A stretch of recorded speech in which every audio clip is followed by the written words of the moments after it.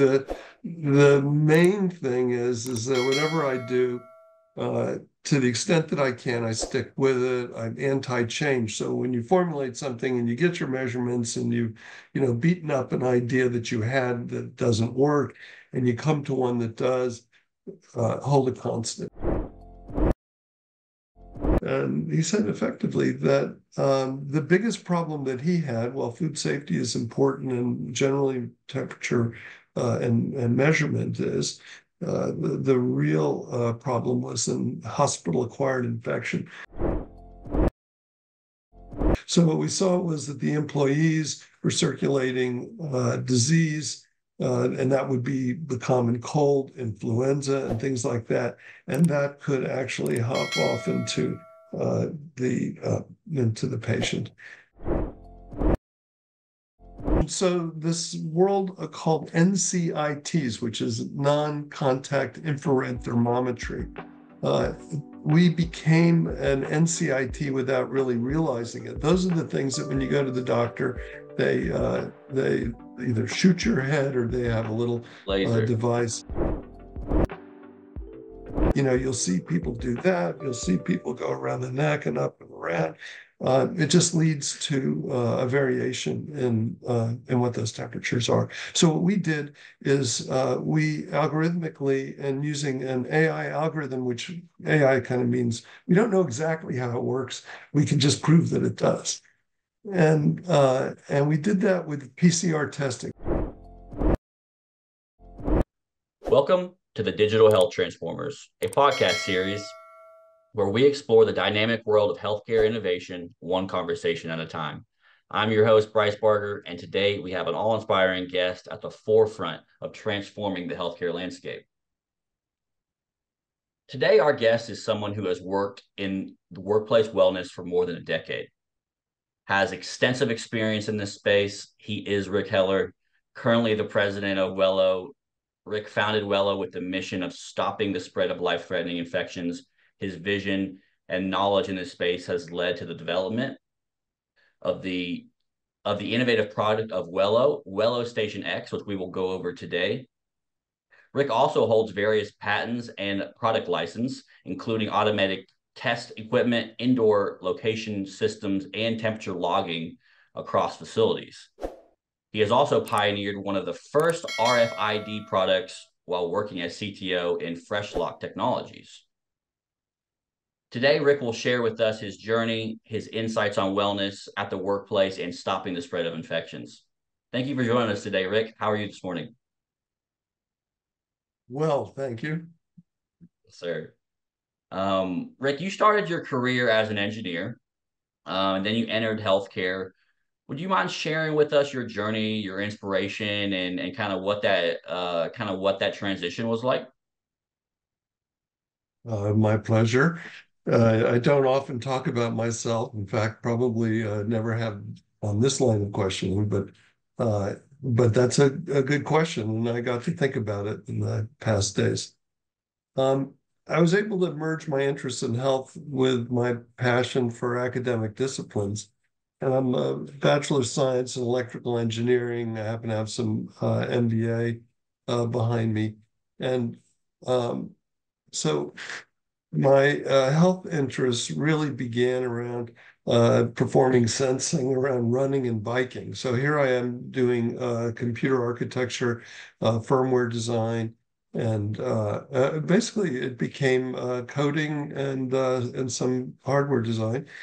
back in the day before the internet and measurement turned out to be the bridge between what I suspected and what actually worked.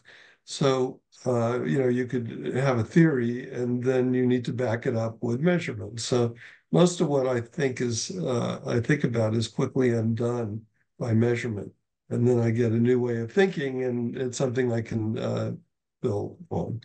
And so when it comes to any kind of project management, including companies, measurement is of course management. So that's uh, that's my uh, uh, my words of wisdom right now. Since the only way I would ever test these ideas would be by human subjects. So I gave myself informed consent, as uh, clinical people will uh, will get a laugh at. and I commenced a human experiment, and in particular on myself. So um, my own road to health and then the epidemiology started as my first years at UT Austin, believe it or not, in uh, Bachelor of Fine Arts in acting. And acting, which doesn't seem like what, the beginning of any road to what I'm doing now, it has a side benefit that I recognize more today.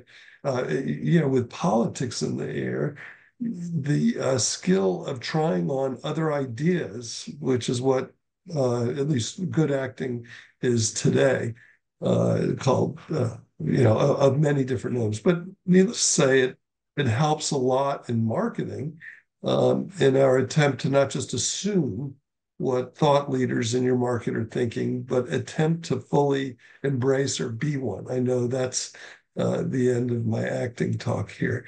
Uh, so anyway, it shapes thoughts for uh, for uh, periods of time. Could be an hour, a day, a sentence, uh, and with that, I uh, try to even use this in jumping around with political ideas that are far from my own.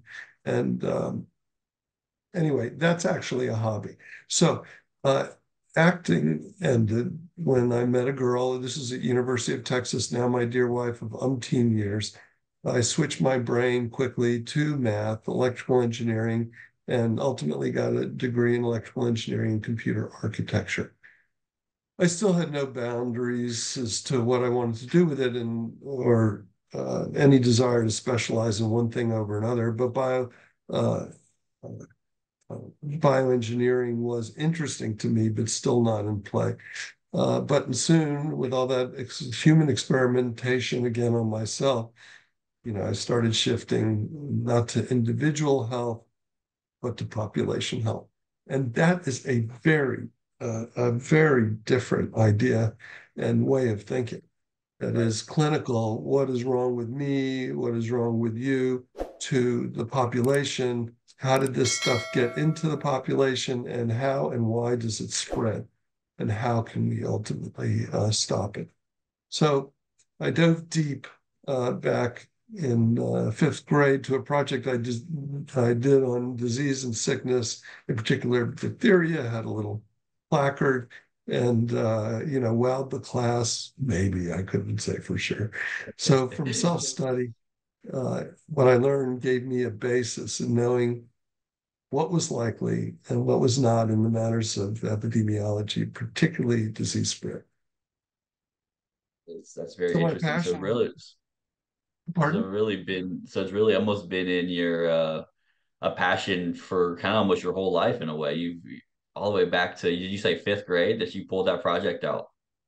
Yeah, uh, fifth grade, and it was about the time that uh, my cousin came down. Just to give you a little anecdote here, that was very uh, compelling to me, uh, came down from Rensselaer Polytechnic Institute. So I didn't have anything but an interest in math and science. Uh, and we were playing ping pong, and I, I stopped the ping pong game I was playing, and I said, "You mean to tell me if you could, if I could tell you the velocity of this ball and the position of this ball, I would know where it landed." Well, that was something that I had never thought of, and immediately uh, my mind went to telling the future. So yeah, if I could stop everything, yeah. So if I could stop everything, get a measurement, I could tell the future. Uh, it turned out he went into weather, which is very much what that's all about. Yeah, and, very uh, much. Weather uh, weather predictions. Yeah, that's funny. That's very interesting. It is. Um, and, and what we know from weather is you got about two or three days, and then it's not all that accurate either. yes, yes, for sure. I was um, I always like to joke, uh, joke with my dad and say, "Man, if we if we could only be a weatherman, you'd only have to be a right, uh, right sixty percent of the time."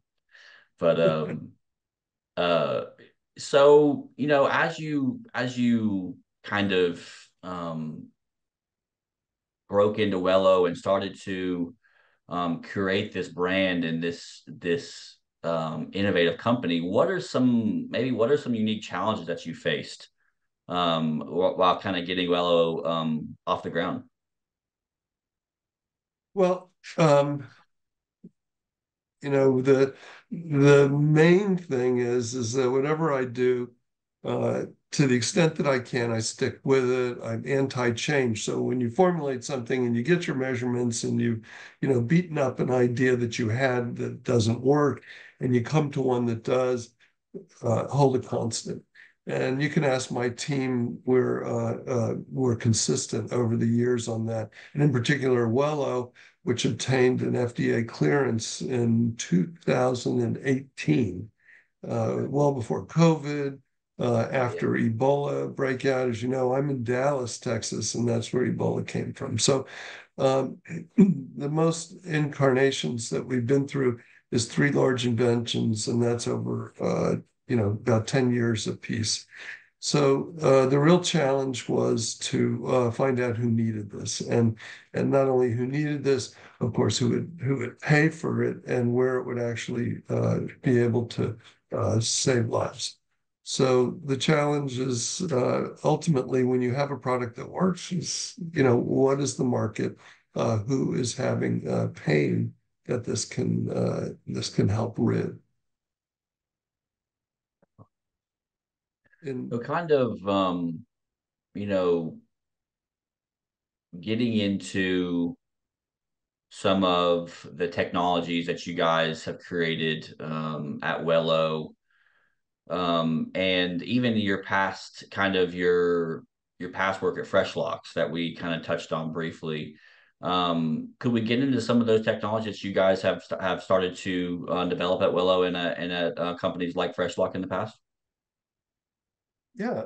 Um, Freshlock, we put networks all over hospitals. This goes back to 1998, where we actually had a portal and we were doing it in restaurants and we were putting this uh, sensors in wireless sensors uh, and feeding this thing called the internet. Uh, and uh, with that, we would just log temperatures. And of course, you know that temperatures are very important in food safety. You know, we study uh, pasteurization, and particularly Louis Pasteur, who saw, you know, what it is to, uh, what it takes in temperature to denature things, uh, basically kill uh, living things in your food. So, um, so um, with that, we uh, we went into hospitals and into one very large system. Uh, uh, will go nameless right now, but um, probably hundreds of uh, hospitals we were in, and these went to sensors that were in the room, uh, in refrigerators, in uh, the kitchen. all over the kitchen in hospitals, and then ultimately in things that held tissue, uh, things that shook uh, shook uh, some salves for uh, anything from oncology to whatever, but they needed to have proof that they were holding this at uh, proper temperature. So it was ID merged with measurement, and uh, and that became Freshlock Technologies.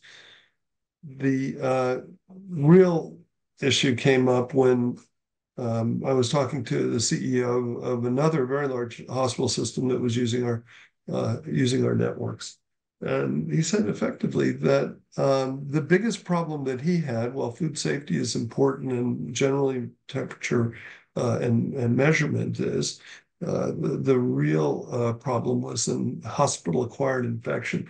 So, you know, when you look into this, you see just the scariest things of you know, antibiotic resistant uh, bugs and things like that. Some of them take lives in a day or within hours of getting it, but those are the, the very few.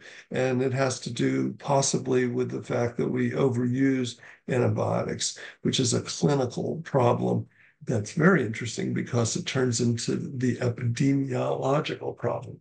So, what uh, we looked for was the tell of a person that was sick. And we weren't interested, in, and please excuse how harsh that comes off, but we weren't interested in patients. We were worried about the people who were around the patients. Patients stand still. You do the you can do the engineering budget on that, and you can see that they don't move, they don't walk, they don't uh, leave the room. But other people do. So what we saw was that the employees were circulating uh, disease, uh, and that would be the common cold, influenza, and things like that, and that could actually hop off into uh, the uh, into the patient. That patient who got sick uh, in uh, the world of today, Medicare and and insurance reimbursement and things like that, you cannot, as a hospital, um, charge for that. In fact, they penalize the hospital, virtually penalize, by requiring that a person, a patient that gets a hospital-acquired infection, uh, the hospital is, re- is responsible for 100%. And that's all top line that moves to an expense of uh, bottom line. So you can imagine the uh, various different things we did. And what we found was body temperature, and this is going into the bio, uh, into physiology. Body temperature was the first, um, uh, the first tell uh, that somebody was getting sick, and body temperature obviously elevates. So the problem with this is, and even to today, that we think about this thing called fever, and we think that this is a uh, this is a curse. And the fever is a response. It is in no way a curse. And, uh, you know, even uh, many clinical internists will tell you do not treat fever. And that's the whole idea behind uh, aspirin. Aspirin lowers your temperature. Uh, obviously, ibuprofen other ones. Uh, the much more mild uh, is Tylenol, which has a separate, works on a separate different COX inhibitor system than all the other ones. So anyway, that's uh, that's what we learned, and I can tell you that the greatest uh, interest that really pulled us along was finding out that 98.6 Fahrenheit, which was that thing we learned in elementary school, that is not human mean temperature. And why that's so important uh, to know is that when we measure at 100.4 and tell people you're contagious, we miss 95% of the infections. Of the infection window. Wow. Wow. So when so obviously when COVID, you know, came into um the Americas and it became such a, a worldwide ep- epidemic, what was how how did Wello how did Wello's temperature readings how did that um, how did how did your business uh, handle that? How how did it fit perfectly in that? Well, uh, good question. So this world called NCITs, which is non-contact infrared thermometry, uh, we became an NCIT without really realizing it. Those are the things that when you go to the doctor, they uh, they either shoot your head or they have a little uh, device. Yeah. Right. And okay. so um, and that technology, by the way, is developed by uh, an acquaintance of mine uh, who also developed the air, ear thermometer, which is hmm. not gaining as much favor as the most basic, which is the uh, non-contact. And uh, but what we did is we automated it. So that what we found out in the case of Ebola, and remember, we became very experienced with Ebola and our product because Dallas was going to be the center of the transmission of Ebola. Right. So and, when uh, when when those nurses or was it, it was the nurses or doctors that came back um, from Africa that they they landed in Dallas? Was it? Am I correct on that? Am my my uh, memory? Uh, yes, you are. It was actually a worker, um, worker. and I think they, he was a Federal Express worker or something like that. Oh, okay. Uh, immigrated here, uh, was uh, clean coming in, and then spiked a fever within a few days that got up to 106, and this is reported, uh, maybe it was 104. And what they, he went to the emergency room finally. And in the emergency room, they uh, diagnosed him uh, with Ebola and then sent him out. Uh, actually, I can't say that they said it was Ebola, but I'm pretty sure because he was West African, it was well known at the time.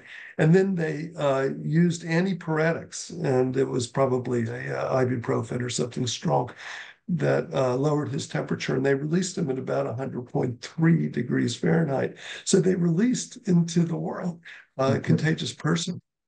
and by the way, the drop that you get from uh, uh, from these antipyretics, uh, it's uh, it it will you will be shedding virus as greatly as the temperature that you started at, and that's what's so interesting about body temperature. That is that is very interesting. So getting kind of getting into health technology and the spread of this kind of the spread of infections, you have obviously a very extensive knowledge about stopping the spread of infections, disease, and you must have worked on multiple. Obviously, you've touched on a couple of these technologies. Um, could you share with us your experience of um, of, of Skywello? Oh, uh, yeah, Skywello was when we were doing uh, the temperature measurement throughout hospitals under the uh, auspice of uh, uh, Freshlock Technologies, which, by the way, is the same company as Wello. We just uh, changed the name. Yeah, rebranded. And so, uh, anyway, what we did with Skywello, it's a really beautiful, well-designed product, uh, if I may say so. We had a design company do it, and it's a device you put up in the ceiling, and it's over steam tables and you know those tight places where uh, restaurants do all their good work. And uh, it had actuators, uh, very simple uh, actuators, and a distance sensor that had a very narrow uh, field of view, so it could actually look at just the surface temperatures of these uh, things. So people would know to stir, taking a ladle and sort of stir it so they make sure that everything is a consistent temperature, which is important just for food, uh, the art of uh, food preparation itself. So that became uh, uh, uh, we at the time laid out a uh, like a CAD-like picture of the table, and we reported on all those temperatures. And we can also do the complicated formula of food safety with regard to how long uh, it takes to get it to temperature, how long it can stay at temperature, how low it can go once it gets to that pasteurization, and for how long before it either spoils, uh, which means tastes bad, or actually could uh, harbor disease. Okay, very interesting what I guess kind of getting into um you know how do we stop you know if it, we saw how hard it was with covid where it just ran rampant and next thing you know it truly took over the entire world. Um what healthcare technologies do you think could put a stop to such a spread? And maybe maybe not such a spread as far as as covid after it got so widespread but maybe in the beginning if we would have had some of these technologies do you think they're do you think um, there are technologies out there that could help that, or do you think there are roadblocks in kind of implementing those technologies? Well, I, I that's a lead-in uh, to what we're about to do in two weeks, and I don't know if we talked about this, uh, whether or not we did. Thank you for the question. Uh, what we've got uh, is a completely different look at this, all through mm-hmm. Uh, the the uh, all through the uh, peephole of temperature.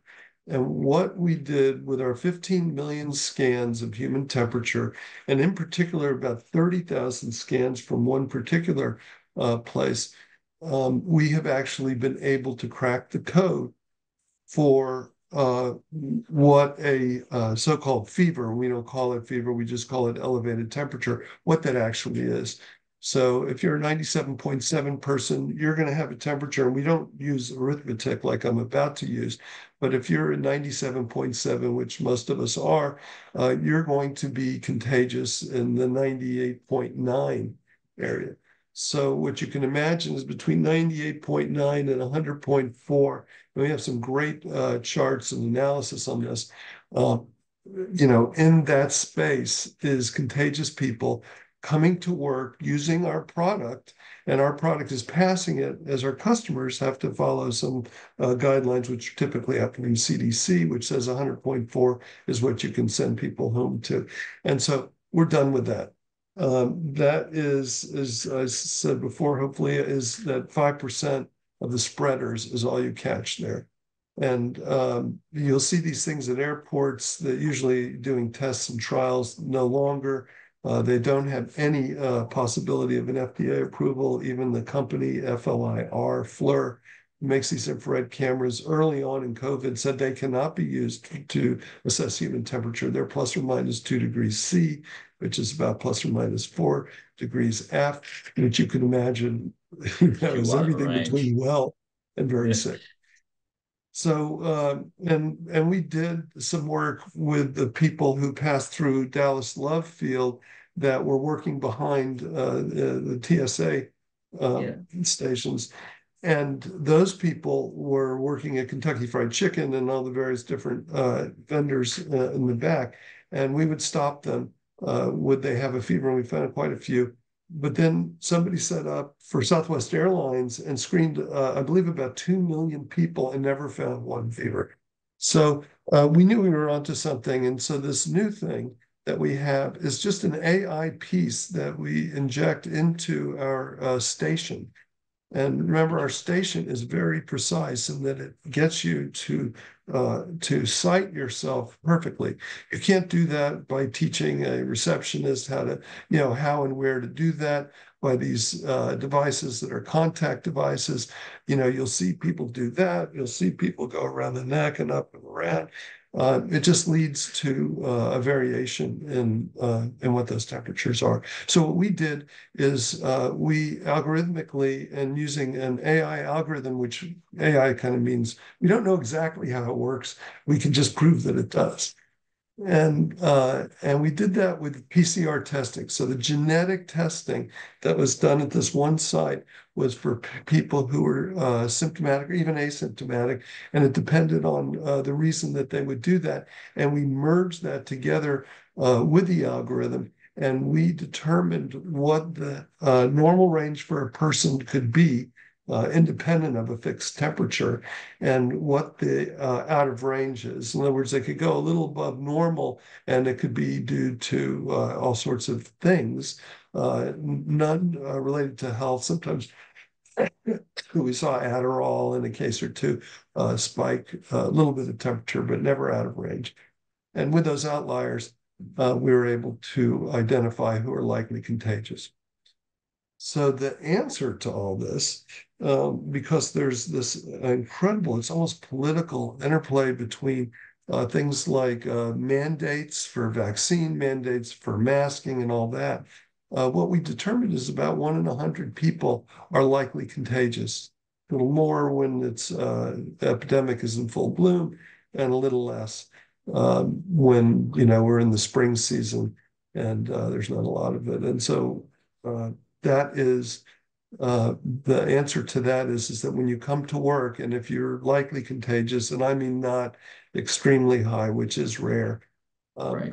you will be asked to wear an n95 an n95 is you know standard face covering a little better than a cloth mask uh, that we provide and uh, and now we're looking at instead of telling 100 people everyone they need to wear a mask all the time we're only focused on that one person who's likely contagious. For that, we will get a 95% reduction in the uh, what's called the disease burden in the workplace. Uh, so no spreading, very little. And I know that that's obviously a huge kind of illness and wellness in the workplace is is now of course, since COVID and beforehand, but really since COVID is very focused on now, whether that's mental health or whether that's just your your your your regular hey are you, hey are you sick, um, you know, and that's very crucial to a lot of companies that are looking to bounce back after COVID and keep their keep their employees, you know, um, healthy and happy. Can you recommend strategies um, that could help maintain occupational health and safety for kind of employees' well-being? Well, um, yes, and I uh, sort of did. I'll elaborate yeah. that um, in With the space. Masks. Uh, uh, say again. Yeah, so I know you just mentioned that with being able to kind of have them um, test and kind of hone in on that smaller number of individuals instead of saying, "Hey, everybody needs to wear a mask." To the smaller individuals, are there any other um, are there any other strategies that we could that we can also help follow? Well, you know, I, I have to say that there are, I want to say there are not, except Mm. for uh, what I just explained. Uh, but you know, surveys um, or uh, seem to be important. We have a survey on our uh, device. You can take the survey survey and take your temperature. But surveys are the honor system, and we find it has about uh, the efficacy of uh, temperature screening in the, uh, in the past, which is about five percent of the contagious people. And then what happens is if you uh, answer the question a certain way, you're going to wind up not being able to enter, uh, or perhaps wear a mask, which is uh, which is uh, less disruptive to your work team as well as your uh, you know paid time off and things like that. So uh, surveys and temperature screening are the best ways. Now that's because survey screening takes a minute. We take three seconds. Now in 10 minutes, you can determine if you have COVID uh, with an antigen test. Now, that'll be $10 a person. And the time that it takes is uh, very significant to employers and employees, which is 10 minutes. And, uh, and that's only to get the answer to do I have COVID? And we know right now that influenza spiked a month ago. It's going, up. something is going all around. I got it about a week ago, which is kind of mm. a good thing because I get to play with my temperature and uh, make a lot of measurements. Use test. And, and by the way, it identified me at the uh, at peak of mine, which was about 99.1 degree Fahrenheit. Uh, and it uh, it called me out. Very so uh, there are other methods, but uh, PCR is two to three hours and about a hundred dollars, hundred fifty dollars. The place that we had our PCR and all of our uh, large, uh, broad study, a large population study, uh, that was a hospital. And hospitals, you know, in their sleep, they, you know, can get a sample and they can give you a diagnosis uh, as to whether you have COVID or not. That's what we use to prove and to improve our algorithm. But really, it sounds like as far as the options that are out there, um, whether it's very expensive, being able to use a hundred dollar or a ten dollar test per person, or um, a survey which doesn't seem to um, cover all the bases that it needs to cover. Um, it really seems like temperature readings and and Wello is is really the best course of option for um, whether that's cost effectiveness and whether that's just effectiveness in general. Yes, well, you would expect that uh, uh, shameless kind of advertising from yeah. uh, uh from a promoter. Uh, I think of myself not as a promoter. Uh, yes, yeah. I mean we are so enthused and excited about this, and we're going to get the word out in about two weeks, three weeks. We've amassed thought leaders that see what this is. We have a complete paper ready for publication in a science journal and uh, so I have to say that uh, I, I, know I'm not wrong. I know that mm-hmm. I'm spot on. And the real question is, is are people going to uh, want to get this level of workplace safety? And I think yeah. a lot of people are. We're, we have about 1,500 units out in, in the world, uh, and that's in the world and uh, some of them by very large companies who put them all throughout all their manufacturing throughout the world, multinational companies. And this is what we hope to uh, take to a uh, market needing this internationally. Definitely, and and not to, and definitely not to shamelessly plug Wello and, and make this into an advertisement because it's not. But whenever you know, as as as our our guests know, I love to have conversations with people who are pushing the boundaries and who are truly innovating. And that's what this is. That's what Wello is. Whenever we, you know, it's a it, it's a direct response to something that happened in in the world that you guys have seemed to have taken the next step. Um, and which is so interesting to me. And it's so it's so much less invasive than a COVID test, which, as any all of us know, are probably the least favorite, my, you know, my least favorite thing to do, maybe other than a strep throat test, um, whether it goes up your nose or down your throat, right? Um, is it's it's that's what's so interesting and, and what I I can't get off of is is how it might be this simple. Every we've taken our temperatures for so long, you know, we and you get sick, hey, take your temperature, but you guys have truly thought outside of the box and taken that next step, which I just I just love so much. Um, and, and why I wanted to have you on, Rick, to kind of talk about this. And I'm trying to pull these, pull this out of you, uh, to not to make it seem like a, an advertisement. Can you share with us kind of um, I, I, know um, in the past we, have talked about. Can you share with us an incident where Wello has kind of improved employees' health and wellness? I know you talked about yourself where it already um, identified you kind of two weeks ago with the, catching the flu.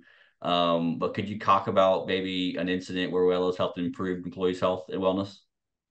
Sure. Um, and by the way, this uh, to talk about individual situation brings in uh, the real politic of this, and it's all because you know we're human beings, and where we can play with, uh, where I can yeah. play and measure things. You know, when I play and measure with human beings, I need all sorts of things like informed consent. You know, when we're experimenting, um, we have uh, found uh, the latest one was we detected in the NICU, the uh, neonatal ICU, one of our customers, we detected a person with very high fever. It was a mother who was, you know, coming in religiously as uh, as much of the day as she could, and uh, she happened to enter that day and was not allowed to go further, and she obviously fully understood it, uh, but she was dealing with a, uh, a respiratory disease.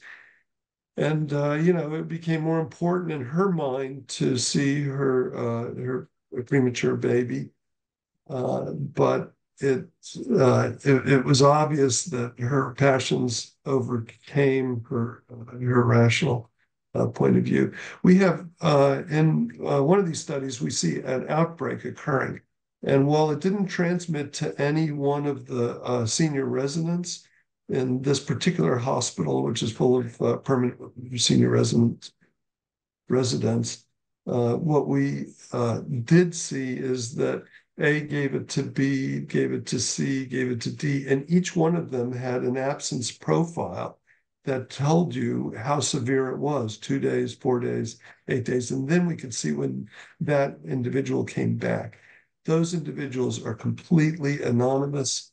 Uh, even you know to us, we have no information. They can reconcile it at the employer level, uh, but all we're going to do is tell this a person who's not registered with our system but badges in with it, uh, all we're going to do is say, uh, wear a mask. You know, it's right over there. And uh, that they need to wear all day and they need the, the most inconvenient part is is they can't lunch with people because that's what we found in that outbreak that that's where it was spreading because all of those people were wearing masks to lunch and uh, and good ones too, I might add. So that became the screen door in the submarine, which is uh, which is congregating in close proximity to uh, other well people. Right, right. Well, Rick, um, that is all the time we have, and I I truly appreciate you joining us today and, and kind of sharing your insight.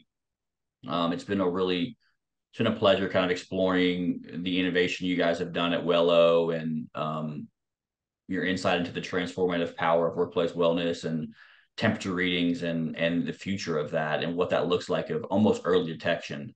Um, your views on kind of stopping the spread of life-threatening infections and boosting workplace illness have provided definitely valuable pers- perspectives that I think um, other listeners will can take from this and um, that I know I that I know just listening to you that I've I've opened my eyes in a way that where um, it, it, makes just perfect sense to to have these and to utilize an early detection and and temperature readings um, in workplace self uh, wellness and really just wellness in general um, across whether you're in your workplace or whether you're visiting um, your grandmother in a nursing home or whether you're visiting your baby at a neonatal um, unit of um, that early detection system. So I, I truly appreciate you um, taking the time to kind of share that insight into Wello and your expertise into that.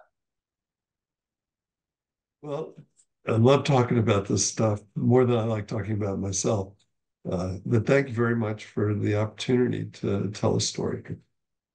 Yes, sir. Um, that is the time we have today. Um, you guys, please, um, please check out Rick and what Wello is doing um, in the future. Um, Rick, you said you mentioned you guys are having an announcement in in two weeks about uh, the new product. Is that correct? Right. Maybe just a shameless plug be, here to end it. there'll be webinars. Uh, I've amassed a very large uh, group of thought leaders on LinkedIn, and after that, we're going to uh, take it out to HR, uh, infection prevention, uh, these uh, seemingly non, uh, you know, people are not that familiar with this, uh, these areas. Uh, and that is who we will be talking to about this and anybody else who wants to uh, join in. Awesome. Well, guys, um, be on the lookout for that news from Wello here in the next few weeks. And um, Rick, thank you again for your time and look forward to talking with you again here soon. Okay. Thanks, Bryce. Thanks very much. Thank you. Bye-bye. Bye.